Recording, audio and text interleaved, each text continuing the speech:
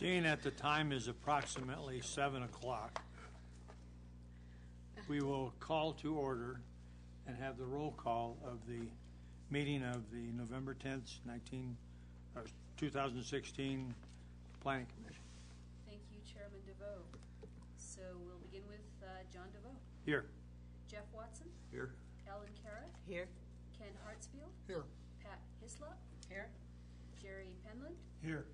Peter Scanlon, Here. Charles Schrader, Here. and Steve Stannard. For the record, Steve Stannard is absent. We'd like everybody in the audience to stand up for the Pledge of Allegiance.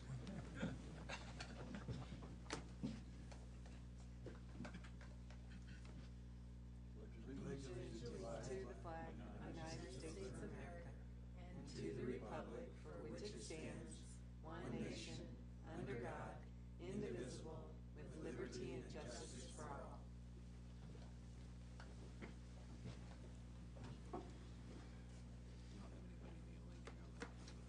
Approval of the minutes from last year? No, it's actually August 11th. Anybody remember what they were?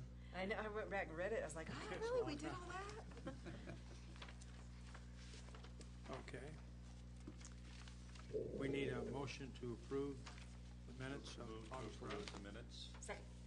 We have a motion and a second. All those in favor? Aye. Okay, same sign. Approved. And roll call, beginning with Jeff Watson. They did their eyes. We did that. I'm sorry. Public hearings, none. Chairman report, none. Commissioner re- reports.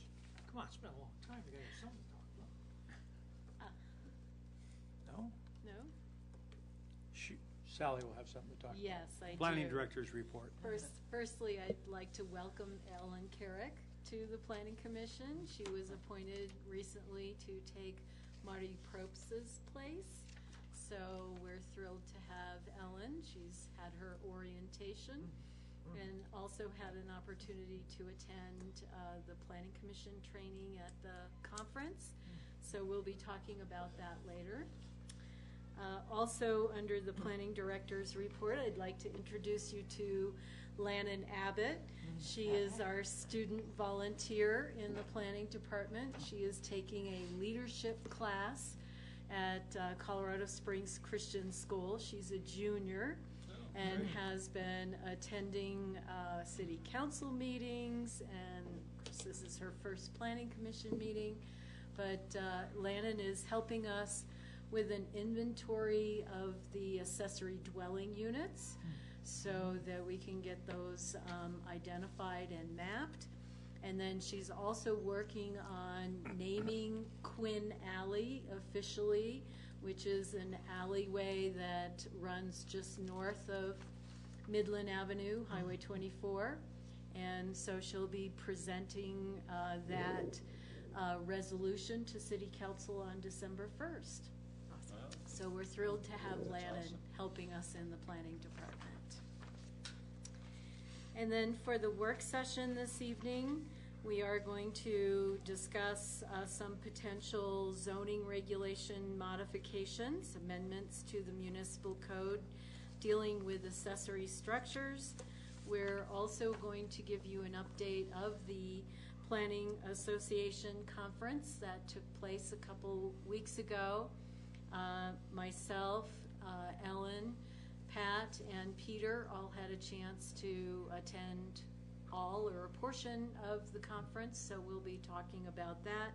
And then lastly, during the work session, uh, Jeff Watson and I will share the new affordable housing assessment for Teller County, and we have those to give out to you.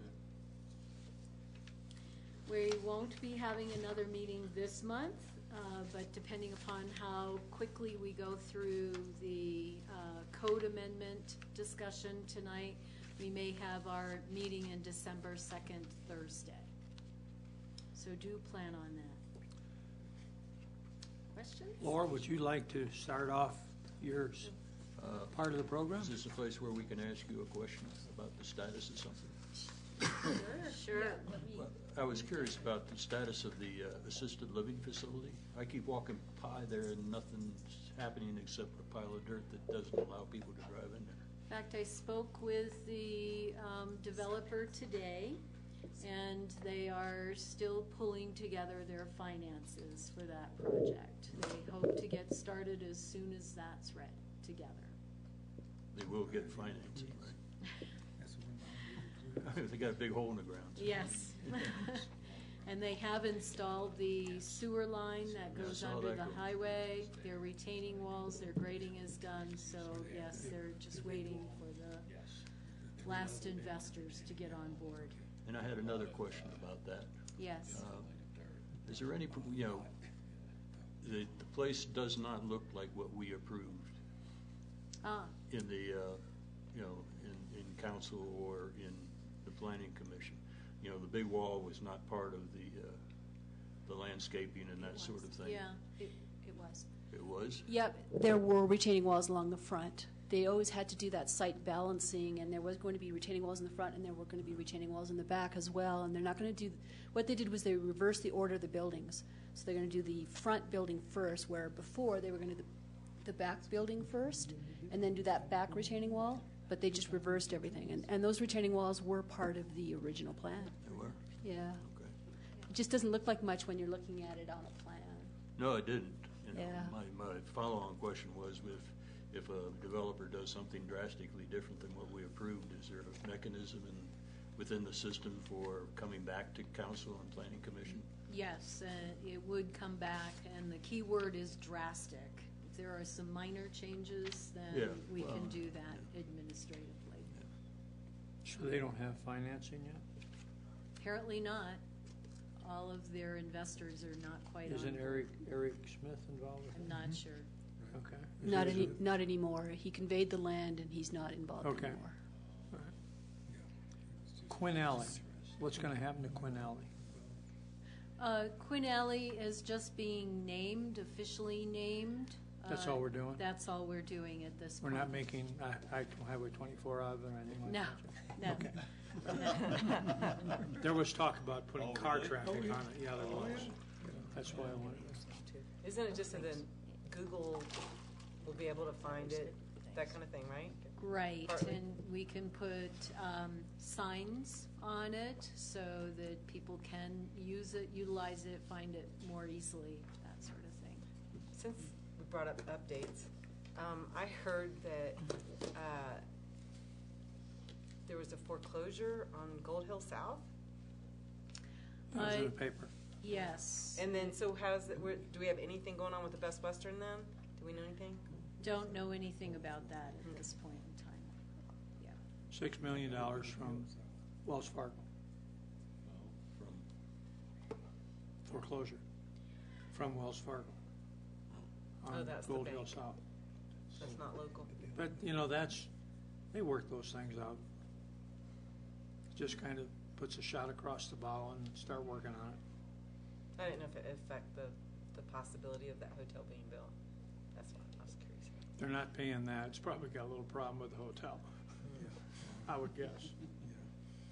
So at this point in the meeting, we will uh, close the regular portion of the meeting, and Dave will end Is that. your, is your pleasure just to stay up here, because otherwise